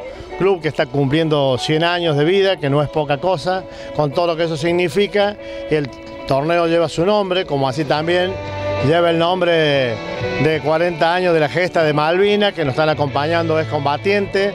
Es un año, la verdad que un año especial. Es el primer año que podemos empezar bien después de la pandemia, que creemos que está erradicada la pandemia, ojalá que así sea y que tengamos un año común como hemos tenido siempre, pero con mucha alegría de poder ver rodar la pelota nuevamente. Bueno, Pío, lo mejor para que lo mejor que viene para este año y que sean todos éxitos, éxitos. Bueno, esperemos todo, todos deseamos tener un torneo exitoso. Y bueno, quién más que yo que esperar que sea éxito porque los clubes hacen mucho sacrificio realmente para poder poner un equipo en cancha y demás. Y yo creo que este gran sacrificio que hacen los dirigentes debe tener un premio. Y bueno, el premio es poder jugar, seguramente hay un solo campeón porque es así, pero son todos creo que ganadores porque la contención social que le realizan es muy importante para toda la sociedad. Tal Freddy, ¿qué significa para ustedes que el nombre del torneo lleve el nombre de Belgrano de Berrotarán? La verdad, buenas tardes, gracias por venir a Berrotarán, un demasiado orgullo eh, que lleve el nombre de Belgrano Fútbol Club por sus 100 años. Recién le decía a un colega tuyo la importancia que ha tenido Belgrano a lo largo de la historia de Berrotarán. Eh, esta institución hacía las veces del municipio porque ni siquiera estaba creado el municipio y Belgrano eh, cumplía esa función social. Y bueno, este, en el cual uno ve y, y, agradece a los distintos dirigentes a lo largo de la historia que han llevado Belgrano a estar en las condiciones que hoy está. Así que demasiado orgullo y también orgulloso que la liga haya tenido en cuenta que se incorpore como la gesta de Malvina un referente de nuestra historia de nuestro país.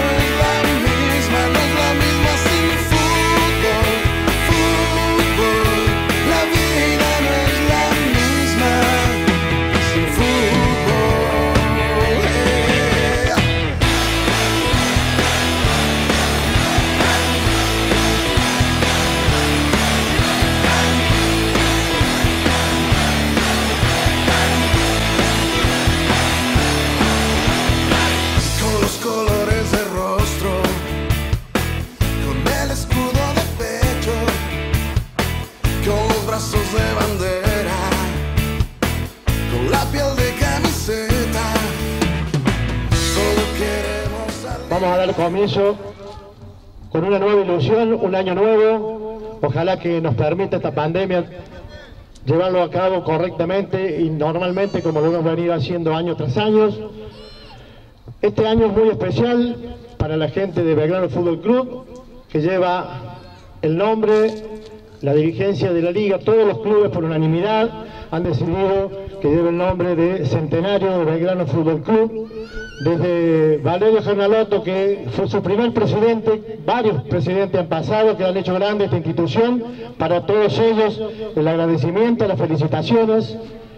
Y la verdad que es un orgullo para nosotros que hemos tenido la posibilidad de recorrer esta cancha y correrla. Y hoy vemos cómo está, cómo está todo el estadio. Felicitaciones para todas las autoridades del club Belgrano Fútbol Club.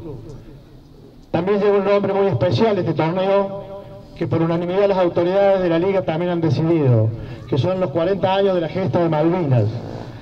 Hoy nos acompañan dos combatientes. Para ustedes, señores, el agradecimiento eterno. Seguramente que es muy poquito lo que nosotros estamos brindándole por todo lo que ustedes han dado. Pero es desde lo muy profundo de nuestro corazón este agradecimiento para ustedes.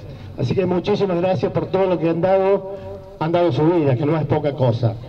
Es un torneo nuevo, es una ilusión nueva. En mi carácter de presidente de la Liga Regional Río Tercerense de Fútbol, dejo oficialmente inaugurado este torneo que lleva por nombre 40 años de la gesta de Malvinas y 100 años de Belgrano Fútbol Club. Muchas gracias.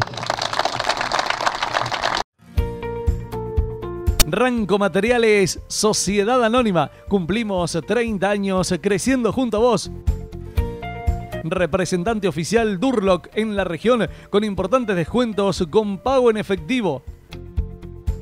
Toda la línea de cerámicos y porcelanatos Ilva, Cerro Negro, San Lorenzo, Sanitarios Ferrum y Roca, Griferías FB.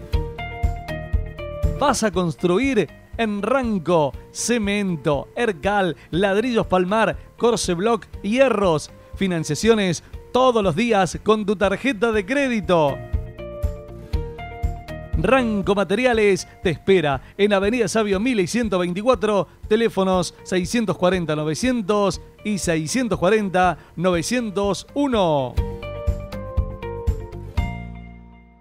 Linda la pelota, ¿no? De la Liga Regional Río Tercerense, regalo de la Municipalidad de Berrotarán y de la Liga para con el Club de Grano Berrotarán, porque lleva su nombre este campeonato oficial, allí el ingreso de los equipos, la Alianza de Espeñadero y el Verano de Berrotarán en la previa al acto inaugural. Pagán, González, Ferraguto, Carrillo Vega, Márquez, Heredia, Cebrien, Los Orre, Josías y Ramiro y Joel Maldonado para este 4-2-3-1 de Jorge Copetti, ¿no? En su segundo año como entrenador de la Alianza. Bueno, ahí estaba la terna arbitral eh, con eh, Villone como árbitro principal y la salida del Celeste.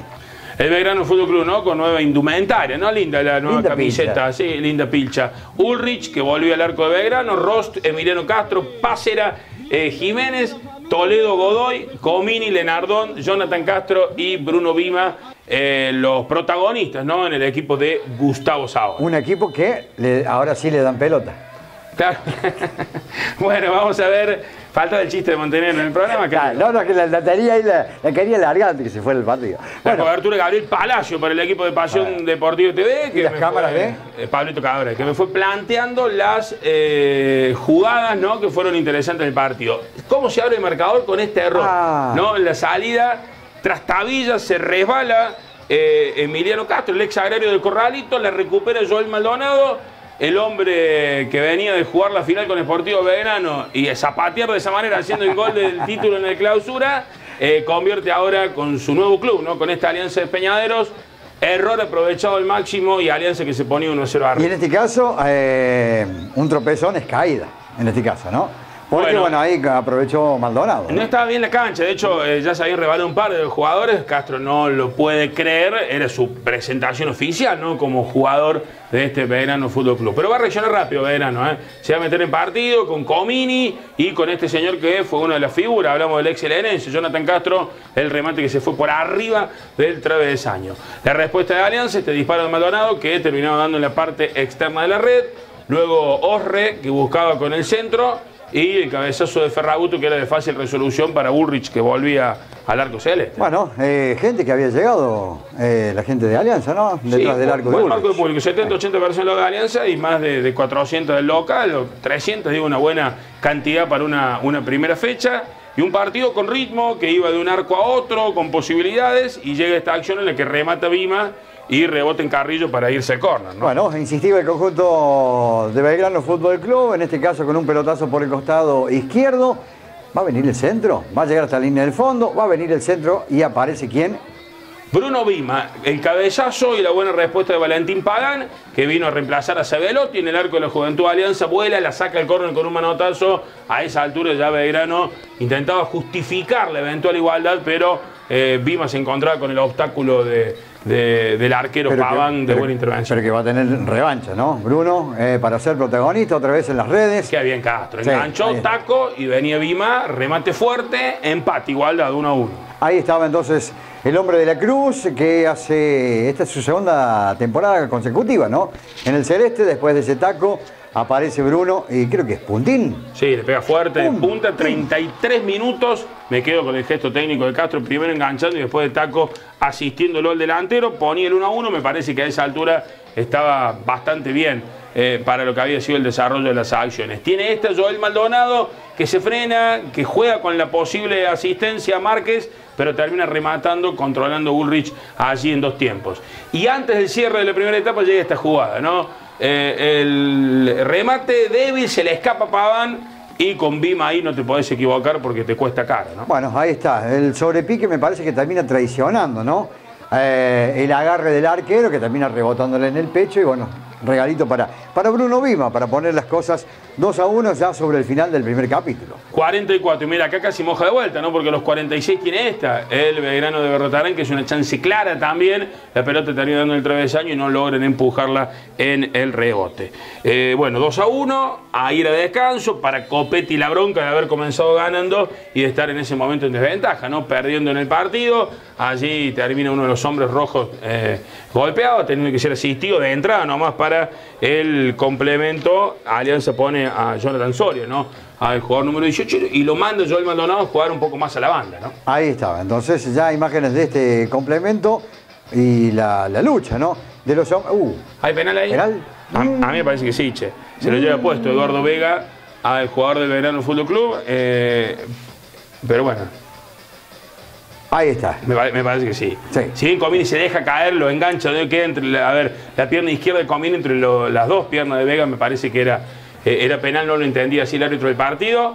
Esta es clara de la alianza, podría haber sido el empate. Joel Maldonado le mete el medio y Soria por un pelito que no llega a, a conectar, ¿no? Buena habilitación de Orre. Por la jugada me parece que tenía que haber sido de empate, ¿no? Ay, Digo, mirá. pero bueno, ahí estaba. Entonces el número 18, que no pudo capturar, Millones le da el ok para este tiro libre y la respuesta, ¿no? De Ulrich. Mira el veterano ¿Eh? Ulrich, eh, mira los No, no, reflejos que no tiene. se eh. metan con los veteranos, no se metan con los Mirá los reflejos que tiene. El tiro libre de Orre eh, a colocar, se le metía, ¿eh? Pareció el del salteño de Herrera.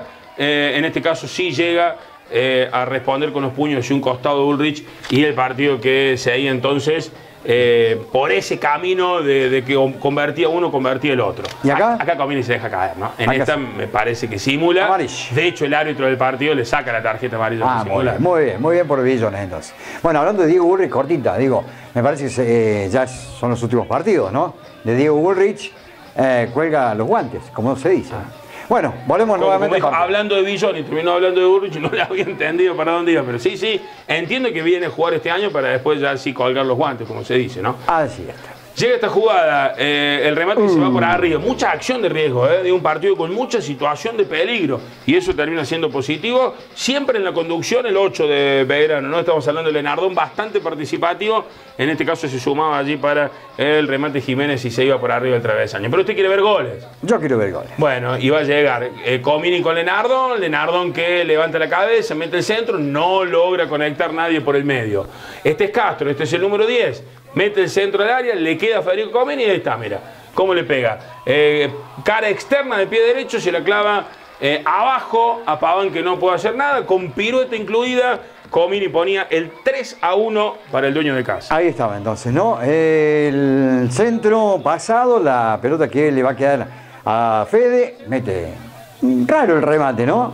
Porque le queda muy cerca la pelota, algo alta, y bueno, la respuesta que fue eh, nula por parte de Paván, y bueno, ponía las cosas 3 a 1 ya tranquilizador para el conjunto de, de Barrotarán. Sí, lo que yo destaco es que Alianza nunca dejó de buscar. Miré, tiene este Joel Maldonado dos minutos después, viste, por ahí te hacen 3 a 1 y vos decís, bueno, ya está, digo, te das por, por vencido. Sin embargo, tiene esta chance clarita Alianza. El pase atrás no logra capitalizarlo Maldonado, que después sí, a los 29 minutos del complemento logra poner el 2-3. Tenía todavía más de un cuarto de hora por delante. Entonces, toda Alianza se ilusionaba con que lo pudiera igualar.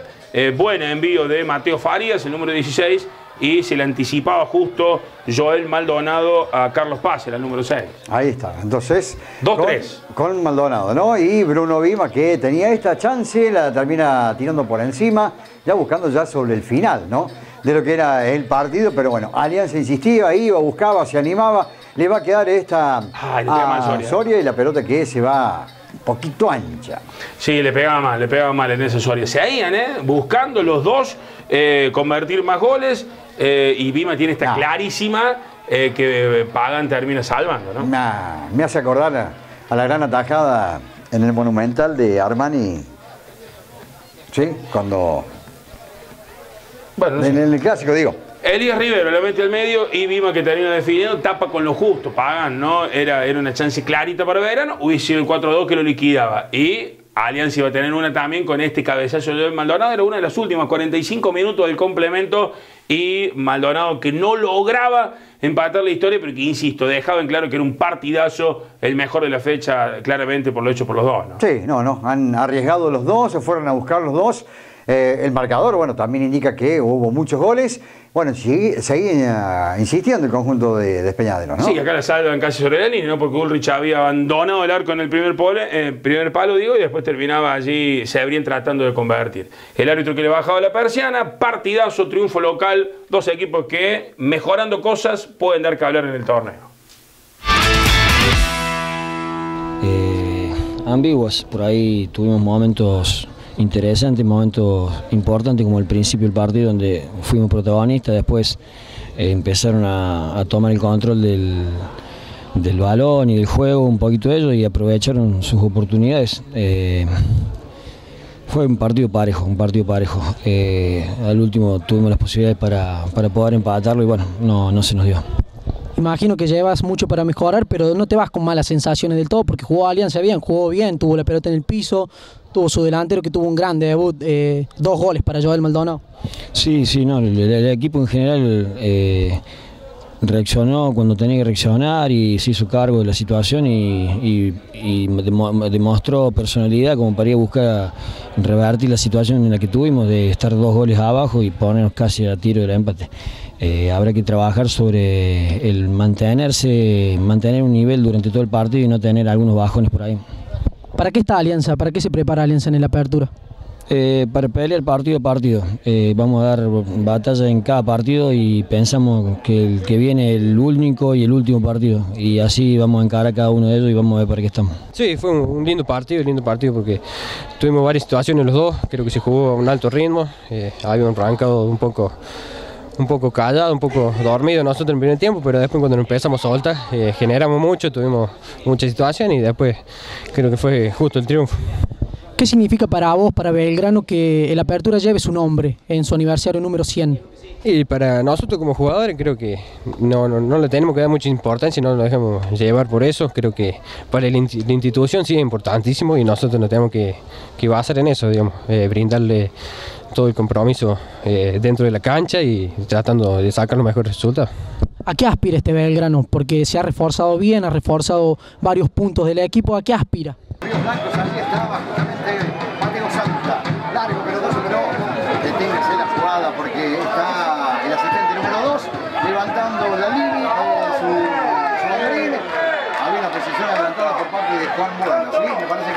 Sí, sí, muy contento porque bueno, uno siempre de, local quiere sumar de a tres, que, que es lo que nos dé el, eh, el, volumen de puntos para llegar al primer objetivo, que, que es clasificar. Obviamente esto es largo, eh, recién es el primer partido y bueno, contento por, el, por, por la victoria. Sufrió un poco en el final, no lo pudo cerrar al partido, Alianza se le metió con pelotas cruzadas, o quizás ese sería un punto para mejorar. Sí, obviamente, ellos se encuentran, eh, eh, generan un, un córner rápido y nosotros tuvimos lerdo en, en agarrar eh, las marcas, entonces nos descuidamos y nos convierte en el 3-2 y obviamente el rival con, con la gana de los últimos minutos nos metió dentro del arco y, y bueno, nos empezó a generar situaciones y nosotros las que tuvimos no las pudimos concretar para poder liquidarlo. Casa Elde, Blanco y Colchonería es el lugar perfecto donde encontrás todo lo mejor para tu descanso y para vestir el dormitorio y el hogar. Casa Elde tiene mayor variedad, excelente asesoramiento y máxima calidad en colchones, sommiers, almohadas, acolchados, sábanas, cubrecamas, cortinas, decoración y valijas. Casa Elde, líder en blanco y colchonería, 60 años creciendo junto a nuestra ciudad, Libertad 345.